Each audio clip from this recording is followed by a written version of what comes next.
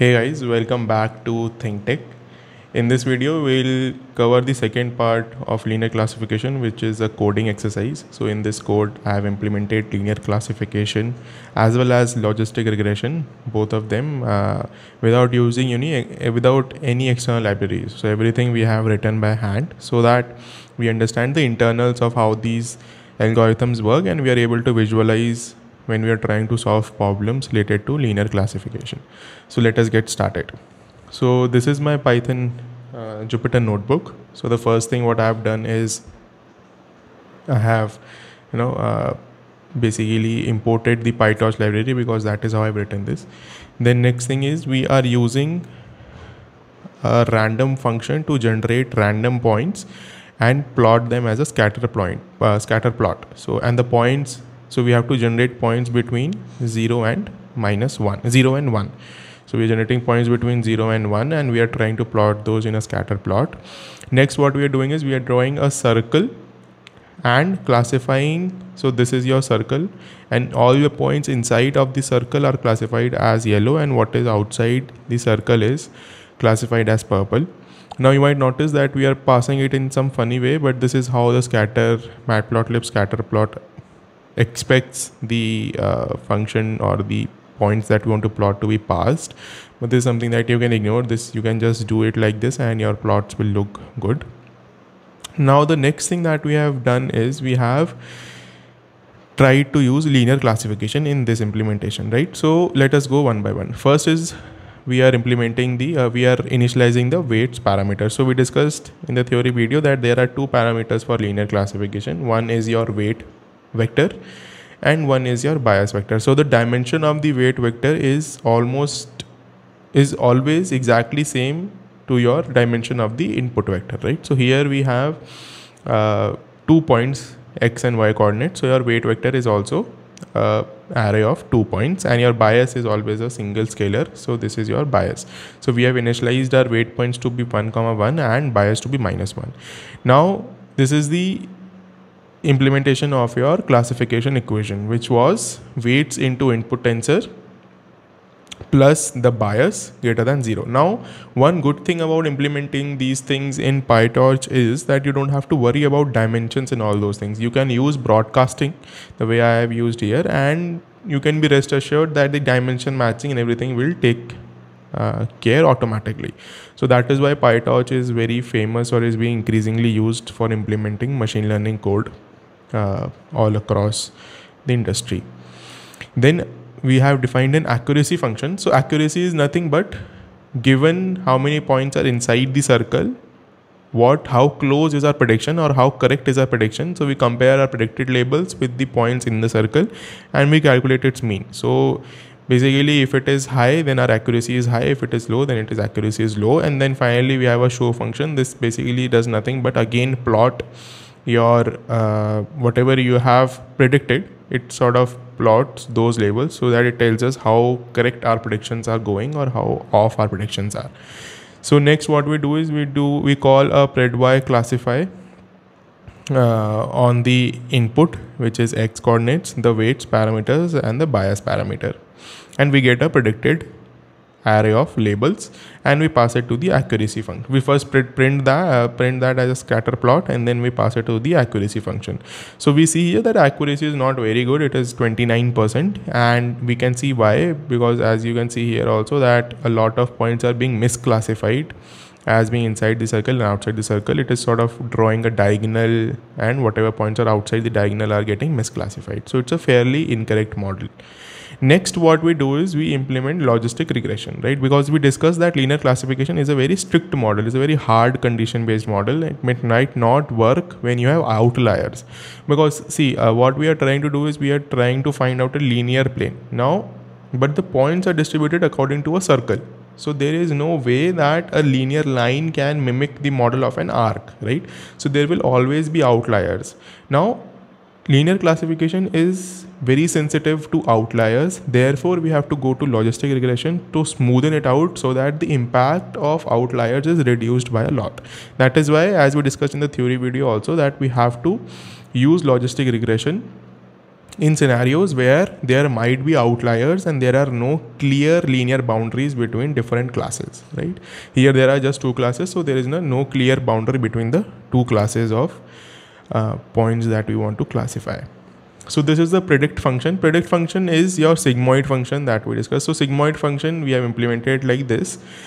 Uh, the x part in the sigmoid function if you go back to the theory video we defined it sigmoid function as 1 upon 1 plus e to the power minus x. So that x part is generally called as a logit in sigmoid function. So it is basically our output right? The output of the linear classification equation which is nothing but similar to what we used earlier also which is weights into input plus the bias. And this is the calculation of your sigmoid expression. So this your this is your prediction. This is basically predicting a probability. And then we are predicting the loss right? So what loss is doing is loss is actually our negative log likelihood so this again we discussed in our theory video which is basically exactly similar to how we have implemented. So this is the actual label into prediction uh, log of prediction plus 1 minus the actual label plus into 1 minus the prediction.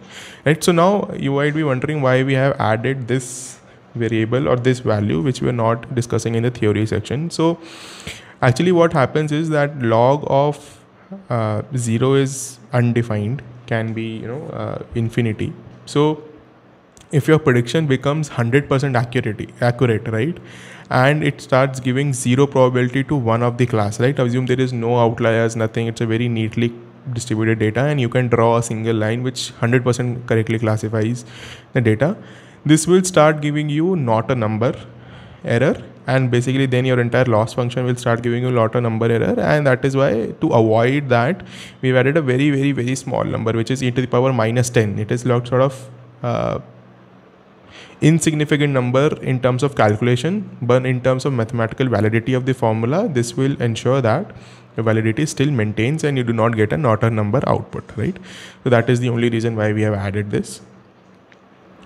Now we use the predict function to print our predicted labels. So we pass again the input, the weights and the bias, and this time we print both the loss and the accuracy. So here you can see that in this scenario our uh, loss is basically 0.12 and our accuracy is 0.65 right so uh, now we have the logistic regression implementation also. Now what you can do is we to get a better accuracy what we can do we can just flip the signs of the weights. So this is basically on hit and trial purpose. There is no logic behind why we are doing this. You can just flip the signs and you can see what it is uh, is it improving your accuracy. And it basically does improve your accuracy. It uh, sort of takes your accuracy to 71% and reduces the loss to 59% you can even fine tune it further and use improve the increase the bias value to 1.2 and you see that yeah now your accuracy has become almost 89% and the loss is 54% or 0.54 so now here even now you can see that it is very difficult to come up with values that give you the highest accuracy by hand right? There is it requires a lot of effort by just fine tuning these two parameters and for different values and see for which value you're getting the maximum uh, accuracy or the minimum loss.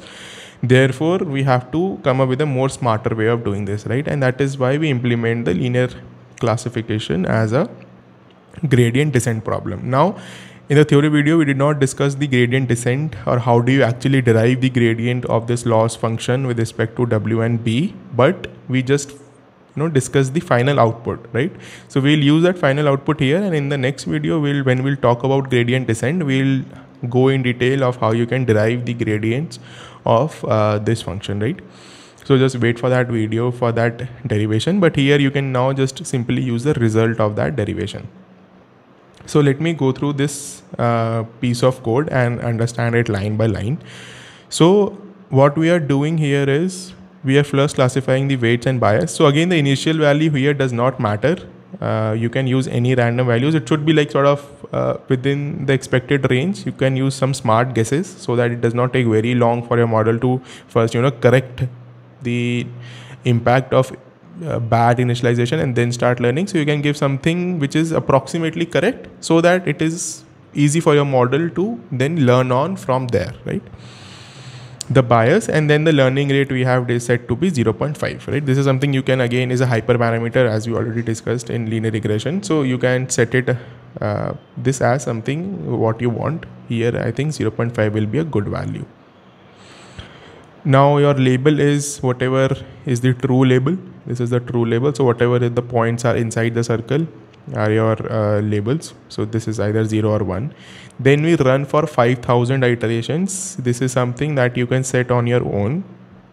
It could either be 1000 it could either be 10000 depending on how many passes of the data you want to do and what depends on how your data set is right? So some data sets might not require very large number of passes. Some data sets might require large number of passes. So this is again which is generally called as an epoch is something that you have to decide based on your own data sets right? Then here is your predict and classify calls. So predict is a call to your linear regression and classify is a call to your linear classification. So we will basically be making use only of uh, py for learning. And then finally when we print this data set we will use predictions. Because in printing we need clean classifications whether you are classifying this point as zero we cannot use we cannot plot probabilities right? We can plot probabilities but in this sense it makes uh, more uh, it is more important that we plot the exact class of where our model is classifying that particular data point. So first is we predict py which is the call to your uh, logit or sigmoid function. This is a call to your equality function. Then we calculate the loss on our predictions right then once the loss is calculated, we use the gradient descent to updates our weights and biases. So gradient descent, uh, again, I'll not go into how these equations come around, but we can use these equations directly. So this is the exact equation that we discussed in our uh, video also, uh, in a theory video also. So you have the gradient descent difference of the predicted label and the true label multiplied by input is your gradient with respect to W. And just that difference summed over a, a zero axis is your bias right? And then you can update the weights and the biases. So this is exactly similar to how we did in linear regression also. Just that py is your sigmoid function. There it was the uh, actual predicted label right? Output of the regression equation. And then finally we print the predictions right? So that is why we were calculating predictions all throughout. And then finally when you print the loss and accuracy you see that your accuracy and loss is now much much improved. You have accuracy of 96% and loss of just 11% and you see that you have fairly good implementation of a fairly good classification of the points. It is only the points that are beyond this arc right which are not getting classified correctly and that is expected also. So this is basically i think the best accuracy that you can get if you're trying to classify points on a circle using a linear line right? So this is the best thing that you can do. So now this we understand how linear regression uh, linear classification can be implemented only thing pending is how the gradient descent part works. That that is something that we'll discuss in the upcoming video. But you can use this code for your own data sets also for your own use cases also and you can easily implement linear classification without the use of any external libraries so that you get the understanding or the underlying uh, mathematics that is involved while solving these problems. So thank you so much for watching. Please do not forget to like share and subscribe uh, to this channel and also share this video to other people who are trying to learn about the same technologies. Thank you.